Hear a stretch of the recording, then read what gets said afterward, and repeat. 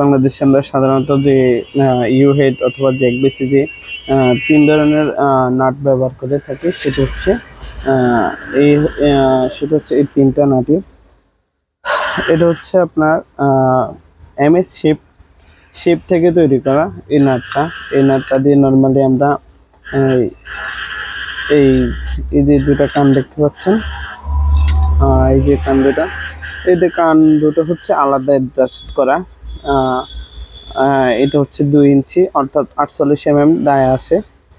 আর এটার যে আদার্স যে এটা সেটা হচ্ছে থার্টি ওয়ান থেকে থার্টি এম এম হয়ে থাকে এটার প্রস্থ।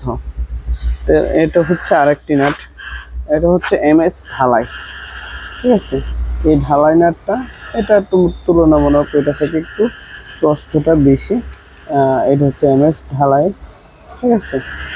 এই যে দেখতে পাচ্ছেন, এই নাটটা খুব ইজিলি ঘোরানো যায়, এটাও ঘোরানো যায়। ঠিক আছে, এভাবে নাটগুলো তৈরি করা।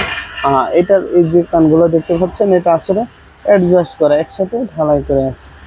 ঠিক আছে, আর এই হচ্ছে আরেকটা নাট এটা হচ্ছে এটা হচ্ছে এম এস ঢালাই। ঠিক আছে, এটা আবার কাস্টেন না। ঠিক আছে কাস্টেন ঢালাই না, এটা কিন্তু এম এস এটা আপনার হাতে দিয়ে টেস্ট করলে বুঝতে পারবেন, এটা আসলে এইভাবে ভাঙে না, ঠিক আছে? আমরা যদি নর্মালি আটচল্লিশ এম এমটা আর একটা ফাইভ এটাতে ইউজ করি, দেখেন, এই যে এ ফাইভটা হচ্ছে আটচল্লিশ এম এম ঠিক আছে? এ ফাইভটা যখন আমরা এখানে ইউজ করি, দেখেন কিন্তু এটার সাথে ইয়ে হয়েছে। তো যখন আমরা এভাবে মুভ করব, তখন কিন্তু এখানে মুভ করতেছে, দেখ। ভালোভাবে যদি লক্ষ্য করেন, এটা কিন্তু মুভ করে, ঠিক আছে? তারপর আমরা যদি এই নাটটাতে ইউজ করি, এই দেখেন এখানেও ঠিক সেম তুলনামূলক ওইটা থেকে একটু বেশি স্পেস সেখানে পাচ্ছে। ঠিক আছে? এরপরে যদি আমরা পরেরটাতে ইউজ করি, দেখেন এখানে যখন এই পার্টটা ইউজ করা হয়, তখন এই এটা কিন্তু একদম এই যে থ্রেডের মধ্যে দেখেন এখানে যে কলারটা ছিল এখানে কিন্তু সুন্দর করে লেগে গেছে এবং এটা কিন্তু মুভ করতেছে না।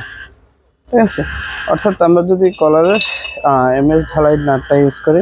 তখন কিন্তু আসলে আমাদের এই পাইপটা আসলে এম এম ডায়ের পাইপটা কিন্তু আমরা এখানে খুব ইজিলি দিতে পারছি এবং এটা খুব সুন্দর করে কিন্তু এখানে অ্যাডজাস্ট হয়ে যাচ্ছে। তবে বাংলাদেশে এই নাটটাও ব্যবহার করা হচ্ছে, আবার এটাও ব্যবহার করা হচ্ছে। এটা আমাদের ইঞ্জিনিয়ার স্যাররা, বিভিন্ন সাইটে বিভিন্ন রকমের ইঞ্জিনিয়ার স্যাররা আছে। ওনারা আসলে যেটা রেফার করে সেটি ঠিক আছে?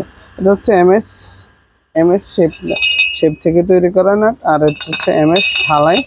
ঠিক আছে? এটার কানগুলা আসলে একসাথে ঢালাই করা, আর এটার কানগুলা কিন্তু আলাদা কিন্তু ওয়েল্ডিং করা। এই যে দেখতে পাচ্ছেন আপনারা, এই যে ওয়েল্ডিং করা। ঠিক আছে? এইভাবে ওয়েল্ডিং করে এই দুটা কান, এই দুটোও কিন্তু এম এস রড থেকে তৈরি।